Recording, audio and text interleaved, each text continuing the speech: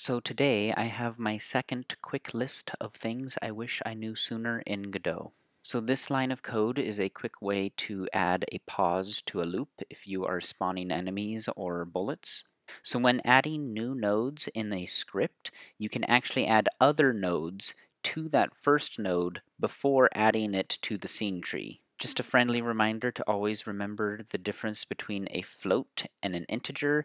Even when you have an integer divided by an integer, it will not be able to return a float. This will return 0 every time.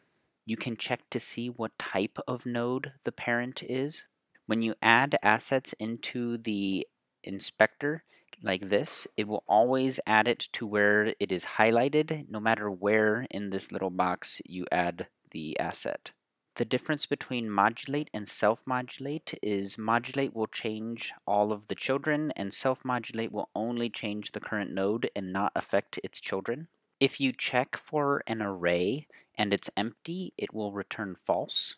When you have a script that inherits from another script, you can override the functions of the original script.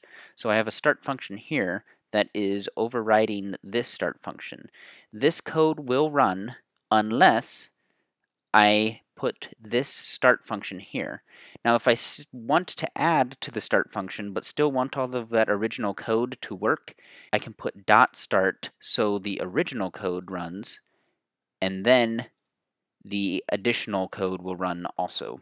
This does not work with built-in functions like the physics process or the ready function. In those cases, it runs both of the scripts no matter what. Always remember to start your tweens. So a node's rotation and a node's rotation degrees are the same thing. The only difference is rotation is in radians and rotation degrees is in degrees. Sine and cosine take and return radians. So if you have an angle that's in degrees, you have to convert it to radians. So there are three different functions that are very similar and they all have to do with loading resources or a scene in a script. So the first one we have is new, and you're going to use new when you are making a brand new node or some type of resource, such as a curve 2D or a node 2D new. You use instance when you are loading a scene that you've already made. You'll be loading the path to the scene that you've previously made and you're going to make an instance of it. So the duplicate function